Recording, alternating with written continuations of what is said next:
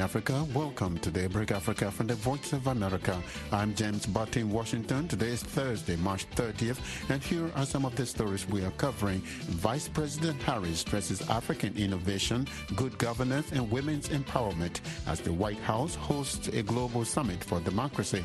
There's no question, right? When you have transparency in systems, when you have accountability in systems, when you create a system where rule of law is important, equal rights are defended and protected, you will see greater empowerment of all people, including women. Meanwhile, Vice President Harris has arrived in Tanzania on the second leg of a three-nation visit to Africa.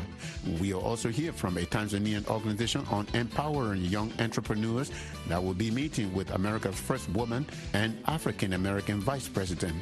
The UNHCR in Mozambique appeals for help in dealing with DRC refugees. Senegal's opposition vows to protest today, Thursday, despite government ban. The constitution said that we can protest, we can demonstrate. It's in the constitution. It's not normal that Macky Sall did not authorize not accept any protest coming from the opposition. And authorities say the high rates of suicide among refugees in Uganda is worrying. Those stories and more are coming up on Daybreak Africa.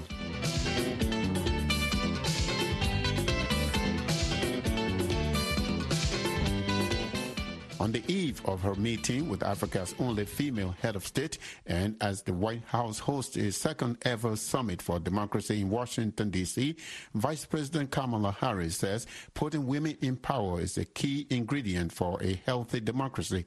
VOA's Anita Powell is traveling with the Vice President and reports from Accra, Ghana. When Kamala Harris took the oath of office to become the most powerful woman in the United States, it was major news. In a vibrant and healthy democracy, she argues, women winning positions of power shouldn't be news at all. As she prepared to meet Thursday with Tanzanian President Samia Suluhu Hassan, she spoke to women entrepreneurs and leaders in Ghana's capital and announced more than $1 billion in private sector led funding to advance women's economic participation in Africa. Afterward, in response to a question from VOA, she said women's leadership is fundamental to a healthy democracy and that it's a topic she often raises in high level meetings. In every bilateral conversation I have with almost any world leader, that is a topic that we raise because we do believe it is in the best interest of prosperity and security for the globe. And she says it's not about pushing women into power. In a vibrant democracy, more citizens will feel empowered and more women will gravitate toward higher office. Uh, when it comes specifically to this continent and the correlation between that and, and women's empowerment, there's no question, right? When you have transparency in systems, when you have accountability in systems, when you create a system where rule of law is important, equal rights are defended and protected, you will see greater empowerment of all people, including women, especially if they have been behind or you see extreme disparities. So there's a correlation there, and we're going to continue to work on it, knowing that they're interconnected. That's one of the aims of the largely virtual summit in Washington which is co hosted by Costa Rica, the Netherlands, South Korea, and Zambia. In Zambia, the Carter Center, the foundation of former U.S. President Jimmy Carter, will host a related event this week. David Carroll is the director of the democracy program there and told VOA that inclusivity is key. Healthy democracies are ones that are inclusive, they are ones that have transparency, that respect core fundamental freedoms and rights. And you know, hopefully they're also showing that they're able to deliver for their people in ways that really meet needs of their populations. And that's uh, you know another central element of, of the problem is democracies need to be respectful of core rights. They need to be inclusive uh, as possible. They need to ensure that broad respect, but they also need to deliver for their populations. If Harris's life is any indication, the road to power for women, even women in developed nations, is not without obstacles. When she was a little girl in California, Harris, who was black and South Asian, was part of the second class of students that were woven into what were previously whites only schools. She went on to become San Francisco's district attorney, then California's attorney general, then onto the U.S. Senate, before Joe Biden tapped her as his running mate in the 2020 election after she dropped out of the presidential race. As she travels across the African continent, meeting with heads of state and encouraging women's participation in public life, the obvious question is Will she be the American woman who shatters the ultimate glass ceiling? Anita Powell, VOA News, Accra. U.S. Vice President Kamala Harris is in Tanzania, the second leg of a three-nation Africa visit that will also take her to Zambia. She concluded her visit to Ghana on Wednesday with a meeting with women entrepreneurs to discuss economic empowerment and leadership. Journalist Charles Kumbe in the Tanzanian capital, Dar es Salaam, tells me Tanzanians have high hopes and expectations about Vice President Harris's visit to their country. Many Tanzanians have a lot of expectations uh, from the vice president visit to Tanzania. Many areas that they believe that there, there will be changes is on agriculture, business, trade, and even on social services like health services, and also on issues such as uh, job opportunities.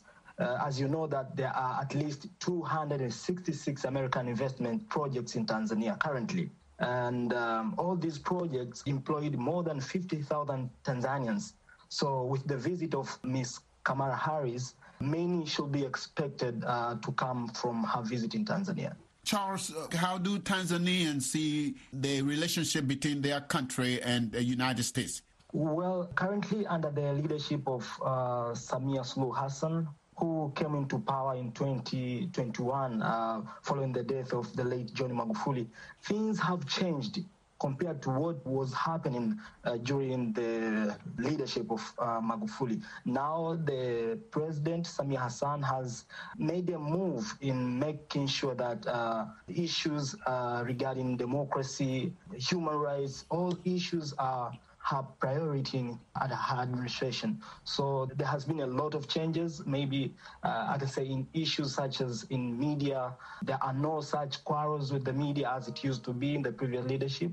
And also, uh, opposition now are free to uh, participate in rallies, and even their internal meeting are not intervened. So it's like now the relationship between U.S. Uh, and Tanzania is going to be strong due to the current leadership under President Samia Hassan, since because she's focused on democracy and even trying to change uh, from her predecessor's policy, which were against U.S., I can say. Charles, have Tanzanian officials released any itinerary in terms of uh, what the vice president is supposed to do while in Tanzania? Well, uh, yesterday the Minister of Foreign Affairs in Tanzania uh, said that uh, the Vice President uh, will be uh, in the country for three days. And the Minister also said that after she arrived, she will be welcomed by the President, her host, uh, President Samia Hassan, at the State House in Dar es Salaam, where she'll discuss various issues about the relations between the two countries, and also on the same day, uh, the vice president will pay a visit to a memorial for victim of the 1998 U.S. Embassy terrorist bombing. As you know that uh, the U.S. Embassy by then uh, was bombed by Al-Qaeda, which is in, in Dar es Salaam and killed dozens of people. And also the vice president will also visit Tanzania Startup Association, which is an umbrella membership-based organization that brings together stakeholders of the startup ecosystem in the country. And also on the same day, Madam Harris will also have time to take part in an iftar dinner organized for her and other dignitaries by the President uh, Samia Suluhu Hassan. All right, Charles. Thank you so much again for talking with us. Uh, we will keep in touch with you. Thank you so much, James, for having me.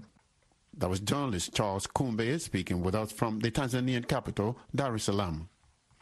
U.S. Vice President Kamala Harris will today, Thursday, meet with Tanzanian youth in the capital, Dar es Salaam, where she will be hosted by Sandbox Co-working Space, an organization focused on empowering young entrepreneurs, creatives, and innovators. For more on Harris's expected engagement, VOA's Mike Hovey spoke to Zuwina Farah, co-founder and director of Sandbox Co-working Space.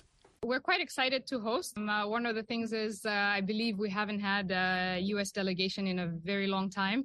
We've seen her time in Ghana, and we're excited to have her here in Tanzania. Speaking of Ghana, throughout her whole time, she's yeah. preached youth, youth, youth, youth, youth, youth. Yes. What is the reaction to that? How do you feel about that as a young African? It's refreshing to hear Uh, one of the key things that we try to uh, advocate for is that Africa is such a young nation and uh, where the majority is the youth. And if we don't tap into that and upskill them or empower them, it will be very difficult for us to prosper as a continent. Uh, what do you guys have in store for the vice president? The vice president will be visiting a few entrepreneurs at uh, Sandbox Space. One of our members, the Tanzania Startup Association, will also be uh, hosting as well. Uh, we have a few startups, one of them being part of the uh, Sandbox community, one of them being part of a program that we run, which is Forward Accelerator. And uh, they will be showcasing their products to the vice president. But we also have a, a, a group of other startups that will be sharing their stories with the vice president. Now, speaking of that, once again, to go back to the fact that Vice President has been preaching about youth, she's also talked about how she's really excited to see the innovation that's on the continent. Uh, could you tell us a little more about that? You sound like you're talking a lot about entrepreneurship and tech. What do you think she should be watching out for in Africa? one thing that she should uh, look forward to is uh, the solutions or the products and services that are being um, innovated by uh, the youth or the entrepreneurs that uh, she'll be meeting. Uh, one key one is on climate change, where we have young innovator that recycles laptop batteries to produce uh, lithium ion batteries that can be used whether to power up um, lights or uh, shops, small shops and, and um, in rural areas. He's at a stage where he's now deploying his first set of batteries. But on the other side as well, we have Niajiri pl- platform, which is an online skill-based and uh, recruitment uh, platform, but it is also focused on tapping into the youth, uh, the 800,000 plus young Tanzanians that graduate every year and how to upskill them and prepare them for the workplace. Uh, the third uh, entrepreneur that will be showcasing their product is Ramani. And uh, Ramani, I think, uh, as of recently, was on the news uh, where he raised about 32 million US dollars in funding and uh, he's more on the supply chain and digitizing supply chain. Other set of entrepreneurs are more focused on health, uh, health tech, ed tech, uh, but also financial technology and uh, how those products and services can propagate financial inclusion in Tanzania, but in the region as a whole as well. That was Zuina Farah, the co-founder and director of Sandbox Co-working Space. She spoke to VOA's Mike Hovey via Zoom from Dar es Salaam.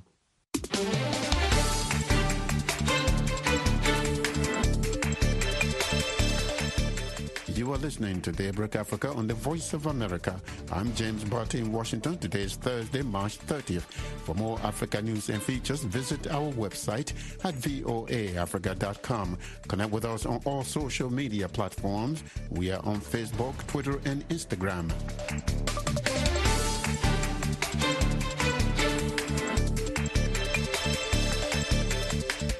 Senegal's opposition has vowed to demonstrate today, Thursday, in support of leader Ousmane Sonko, who is due in court today for a hearing in a libel case brought by the country's tourism minister. The minister says Sonko falsely accused him of embezzling up to 60,000 US dollars. Mamadou Lamine Diallo is an opposition member of Senegal's parliament. He says the opposition has the right to demonstrate because it is guaranteed in the Senegalese constitution. Diallo also says the allegations are politically motivated by President Macky Sall's government to sideline Sonko, a possible presidential candidate in the February 2024 election. You see, the situation uh, in Senegal is uh, simple because if you look at closely what's happening, the judiciary problems of, let's say, Mr. Sonko, if you look at it closely, something really, I say, it's of kind of routine in a democracy because they are talking about defamation okay? But the problem become political when we see that all these years President Macky Sall used the judiciary system to condemn the opponents and make them ineligible for presidential election. And number two is that he himself knows very well that he should not be a candidate for a third term. That is forbidden by the constitution. So the combination of the two things made the problem really political, and of course, and now it becomes violent. But the government said that Mr. Sonko has been accused of a crime. Tomorrow uh, process is not that trial. Tomorrow trial is Sonko against the minister Niang, and uh, that it's about uh, question of corruption. The crime you're talking about is about a young lady called uh, Adji Sarr. She was accusing Sonko of rape. That one is not actually on the table. I mean, not for tomorrow, at least. So, what is tomorrow's trial about? It's about corruption. Sonko said that Mr. Niang, he's the actual Minister of Tourism, Sonko accused him of corruption. He says that there was a report written by the Minister of Finance who indicates that the Minister Niang was involved in the corruption of, let's say, uh, $60 million, around $60 million. That's what Sonko said. And then Mr. Niang went to court and he says that what Sonko was saying was not true. That is the trial for tomorrow. But the government said it has banned all protest. Are you still going to protest? Yes, because it's illegal. The Constitution said that we can protest, we can demonstrate. It's in the Constitution. It's not normal that Macky Sall did not authorize not accept any protest coming from the opposition. You mentioned President Macky Sall trying to run for another term, but the president has not said he's going to run. Well, uh, when we ask him, he says what he says, ni oui ni non, which is uh, it's not non, it's not yes, for a thing which is clearly no. And what he have done uh, for the last two years is to prepare for the third term.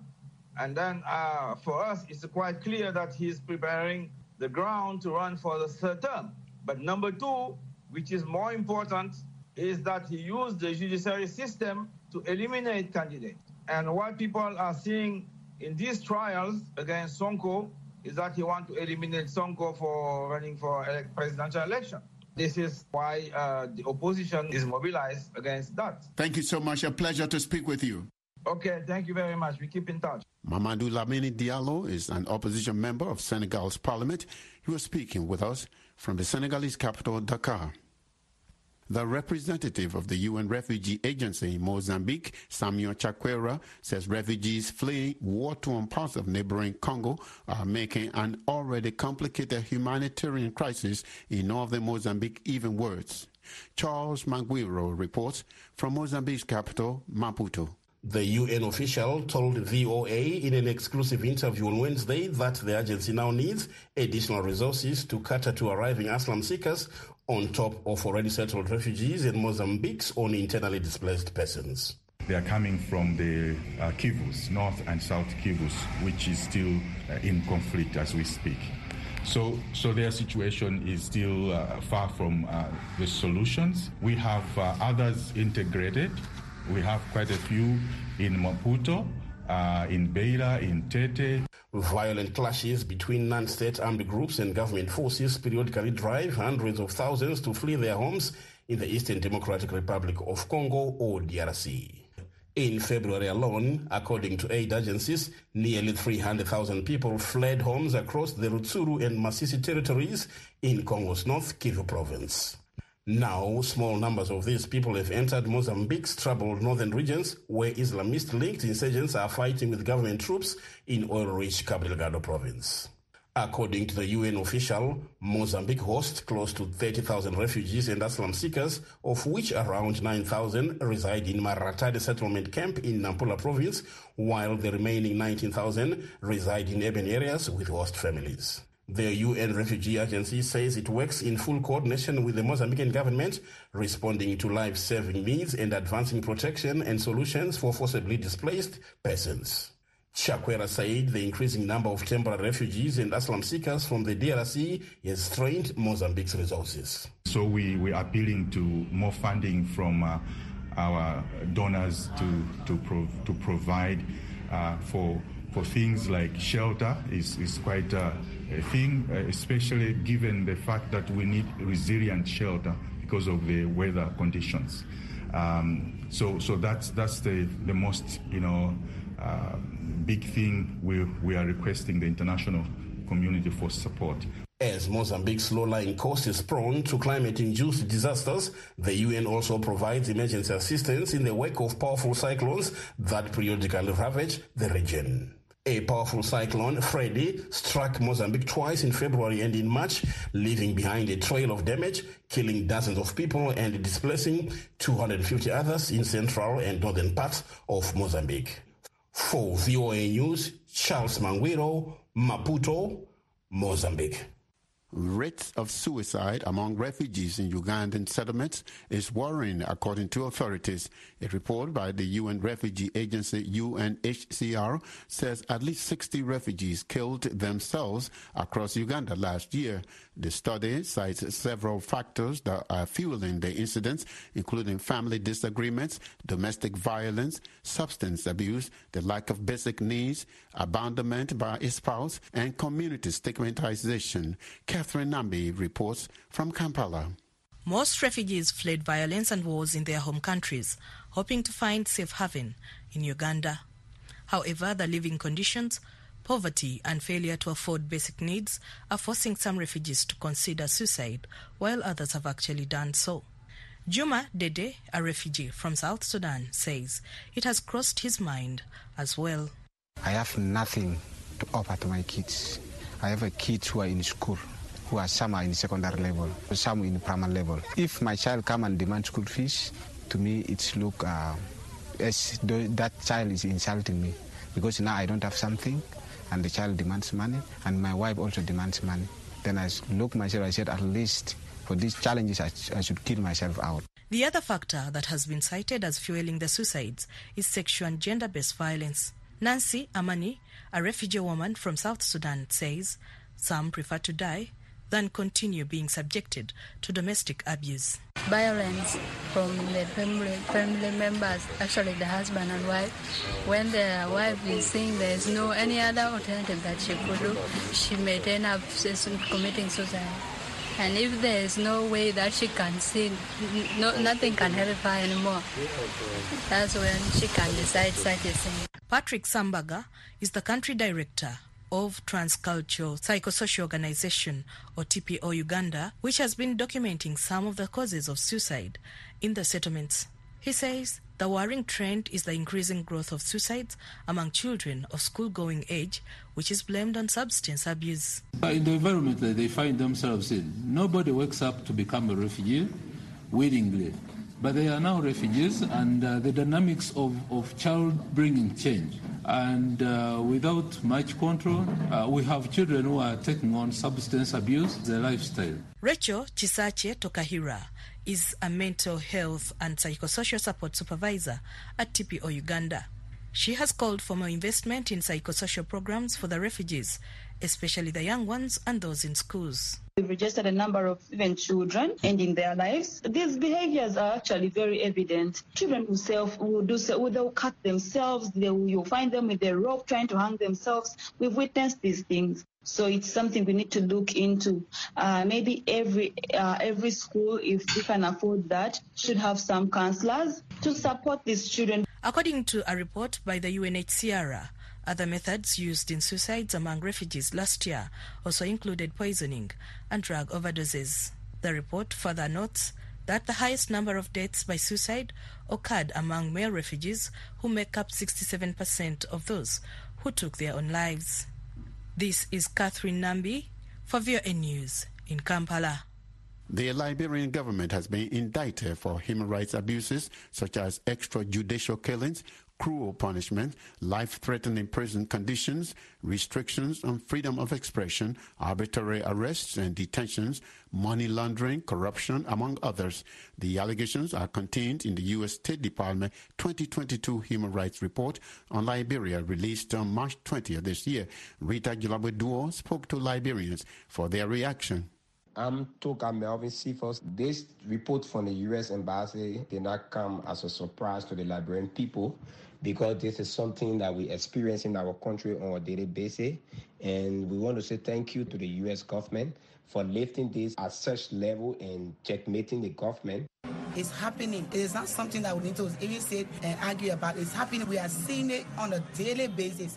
Liberia are suffering. And sometimes you carry your own right to court in Liberia because you don't have money. They will step on a case. And we are grieving. You don't have money, somebody lie on you right now like the person got money, you will go to jail, my sister. So that's why we are very careful because our right have been played with in Liberia. They have been a long time now. So we just decide not to just sit and just leave it with God. Only God can help Liberia right now. The reaction of some Liberians to the U.S. State Department 2022 Human Rights Report on Liberia. A Liberian government official told VOA that the government will respond to the report after an interministerial meeting takes place. And that's it for this Thursday, March 30th edition of Daybreak Africa. I am James